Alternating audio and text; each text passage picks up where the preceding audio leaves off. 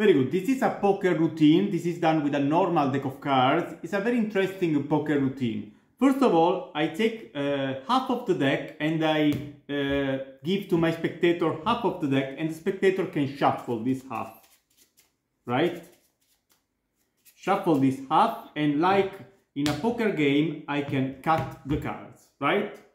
And then maybe another spectator can shuffle uh, the other half of the deck. So I uh, give to another, another spectator, he shuffles the other half. Then we can take some cards, we can put near the top. Some cards we put near the middle, right? And some cards we put near the bottom. Okay, so it's a mess. It's a shuffle deck of cards. Now I'll show you a way to false deal. Now, normally, uh, you deal the cards uh, from the top. So you take the cards from the, the top like this, and you deal the cards from the top. But there is another way.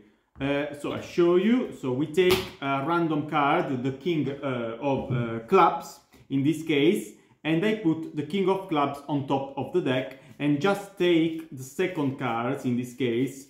It looks like I take the top card, but uh, it actually I take the second card. Face up, you can you can see this, right? Right, the king is remains on top. So this is the second deal. Now I show you another way of cheating, which is dealing uh, the um, from the from the bottom, right? But I need uh, the other three kings. So let me see if I can take uh, the other three kings like this. Yes, now I have the other uh, four, the other kings, right? So here I put each king on the bottom of the deck, right? So now they are on the bottom. They really are on the bottom of the deck. And I just try to deal from the bottom. In this case, I give uh, my cards, I give from the bottom of the deck, right? And now I have the four kings from the bottom. But there is another way, which is the uh, dealing from the middle.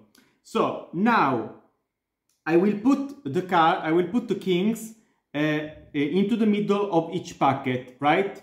But before I ask my spectator, uh, I have a spectator, uh, you want to be the first hand, the second, the third, or the fourth? Uh, two.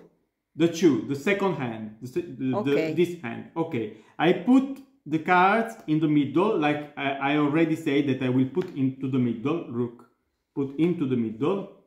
So they really are into the middle of each packet, okay, into the middle into the middle, as you can see, and into the middle. The spectator can put the card like this, and then the spectator, the spectator cuts half of this and put actually everything uh, on top, right? And then we can also cut, but doesn't matter. Now, here is how to deal from the middle. First of all, uh, you say two, right? You say two. So I take the first card and now here is the, the second hand. So I have to take from the middle. I just do this and take the king from the middle. Here, just do this, take the king from the middle.